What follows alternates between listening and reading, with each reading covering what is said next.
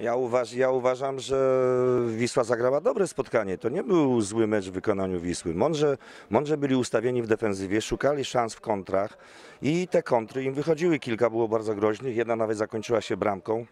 No sędzia uznał, że z pozycji spalonej. Nie wiem, trudno mi w tym momencie to oceniać, bo to była taka stykowa sytuacja, prawda? Mamy to nagrane na, na kasecie, będziemy to oglądać, prawda?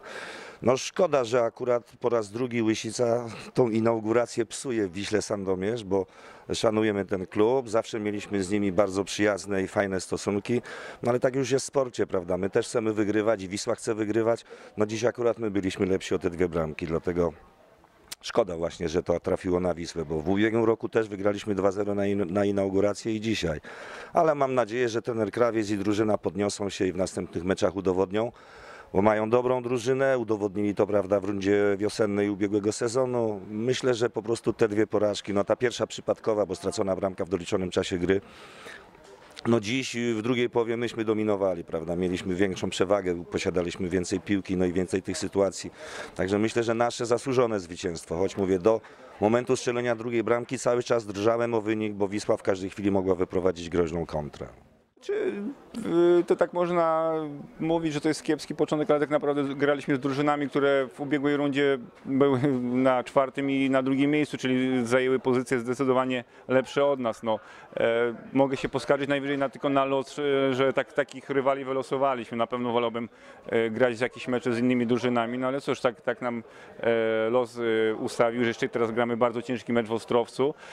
Ja myślę, że jedynym takim e, optymistycznym e, wariantem w tym, w tym wszystkim jest to, że trzeba z, tej, z tego dołu dziś powoli się zacząć podnosić i mam nadzieję, że to z każdym meczem będzie, bę- będzie już e, lepiej i tylko ta pozycja w tabeli będzie się zmieniać na naszą korzyść. Po takich dwóch porażkach, no to wiadomo, głowy są nisko, e, wszyscy są załamani, ale to, to, jest, to jest tylko sport, no, to, to trzeba sobie po prostu ja- jasno zdać z tego sprawę, że każdy mecz w trzeciej lidze można wygrać, tylko nie można podchodzić nie można podchodzić do meczu jakoś z jakimś takim nastawieniem pesymistycznym. No, mam nadzieję, że w końcu przełamiemy ten impas porażek i zaczniemy wygrywać.